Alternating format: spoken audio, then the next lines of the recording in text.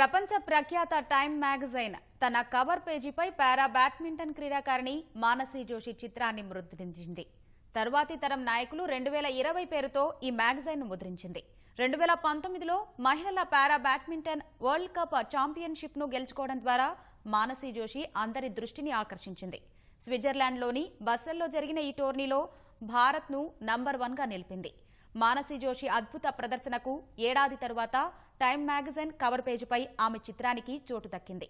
కొత్త మార్గాలను సృష్టించుకోవడం అవరోధాలను అవకాశాలుగా మార్చుకున్న ప్రపంచంలోని పది మందిని టైమ్స్ మ్యాగజైన్ ప్రచురించింది. ఆ పది మందిలో మానసి జోషి కూడా ఒకరిగా నిలిచింది.